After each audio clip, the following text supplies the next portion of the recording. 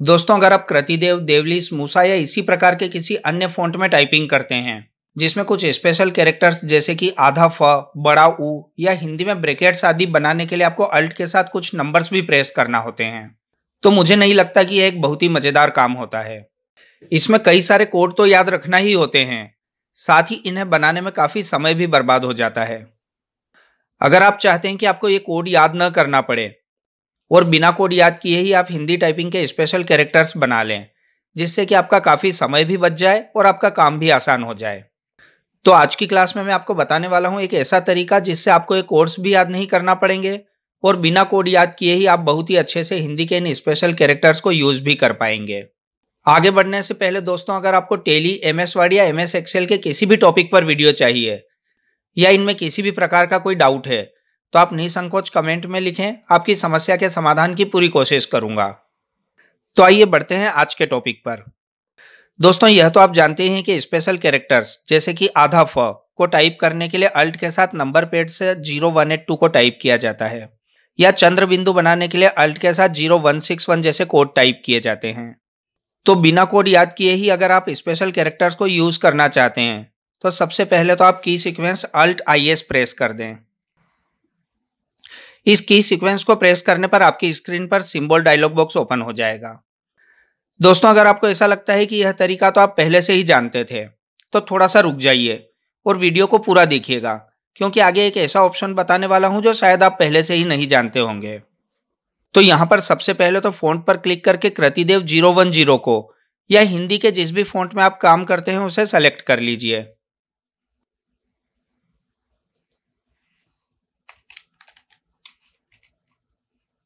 तो मैंने यहाँ पर कृतिदेव ज़ीरो वन ज़ीरो को सेलेक्ट कर लिया है।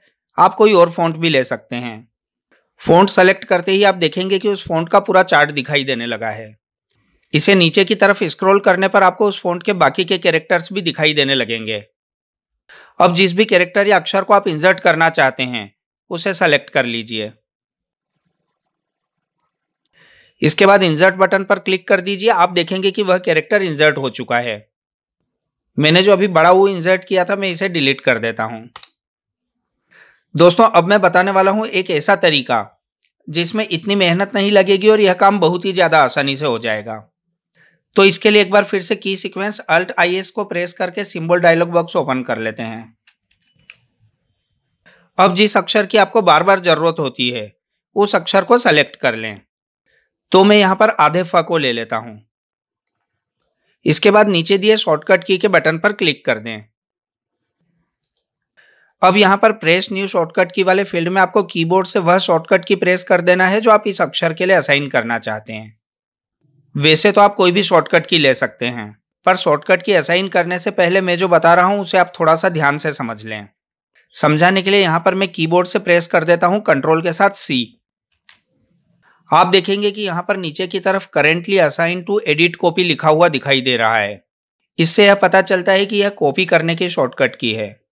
और अगर आपने इसे असाइन कर दिया तो जब कभी भी कॉपी करने के लिए कंट्रोल के साथ सी प्रेस करेंगे तो सेलेक्टेड आइटम को कॉपी करने के बजाय यह शॉर्टकट की हमारे द्वारा असाइन किए गए अक्षर को इंसर्ट कर देगी। तो यहाँ पर आपको ऐसी शॉर्टकट की असाइन करना है जो पहले से किसी और कमांड के लिए असाइन नहीं की गई हो। कंट्रोल के बटन के साथ सामान्यतः शॉर्टकट कीज पहले से ही असाइन की हुई होती है। तो आप अल्ट के साथ किसी शॉर्टकट की को ले सकते हैं। तो पहले तो मैं बेक स्पेस प्रेस करके कंट्रोल के साथ सी को हटा देता हूँ। और अब मैं यहाँ पर अल्ट के साथ एफ़ प्रेस कर देता हूँ। आप देख सकते हैं कि करेंटली असाइंड टू में अब अनअसाइंड लिखा हुआ है। इसका मतलब है कि यह शॉर्टकट की किसी और कमांड के लिए असाइन नहीं की हुई है। सेव चेंजेस इनको नॉर्मल पर ही रखना है। और नीचे की तरफ़ दिए असाइन के बटन पर क्लिक कर दें। हमारे द्वारा दी गई शॉर्टकट की करंट कीज में दिखाई देने लगी है। इसका मतलब यह है कि यह शॉर्टकट की इस अक्षर के लिए असाइन हो चुकी है। क्लोज पर क्लिक कर दें और इसके बाद एक बार और क्लोज पर क्लिक कर दें। अब जब भी टाइपिंग करते हुए आपको उस अक्षर की ज़रूरत हो, आप कीबोर्ड से अपने द्वारा दी गई शॉर्टकट की को प्रेस कर दें। मैंने आधे फा के लिए शॉर्टकट की अल्ट के साथ एफ़ प्रेस कर दी है। और आप देख सकते हैं कि आधा फा इंसर्ट हो चुका है। आप ऐसे ही अपनी ज़रूरत के अन्य अक्षरों के लिए भी अलग अलग शॉर्टकट कीज असाइन कर सकते हैं। मैंने ऐसे ही अल्ट के साथ के क्र के लिए अल्ट के साथ टी मिट्टी वाले ट के लिए और अल्ट के साथ डी मुद्दा वाले डबल द के लिए असाइन किए हुए हैं। इनके अलावा आप चाहें तो उपयोग में आने वाले अन्य फोन्स के सिंबल के लिए भी शॉर्टकट कीज को असाइन कर सकते हैं। जैसे कि मैंने टेलीफोन के सिंबल के लिए अल्ट के साथ पी को असाइन किया हुआ है। दोस्तों, इसी प्रकार से अगर आपको M S word M S Excel या टेली में काम करने में किसी भी प्रकार की कोई समस्या हो रही हो तो आप निसंकोच कमेंट में लिखें। आपकी समस्या के समाधान की पूरी कोशिश करूँगा। वीडियो पसंद आए हो तो लाइक व शेयर ज़रूर करें। अगर आप इस चैनल पर नए हैं और आपने अभी तक भी चैनल को सब्सक्राइब नहीं किया है तो चैनल को सब्सक्राइब करके बेल आइकन पर भी टैप कर दें, ताकि आने वाले वीडियोस के नोटिफिकेशंस आपको तुरंत मिल सकें।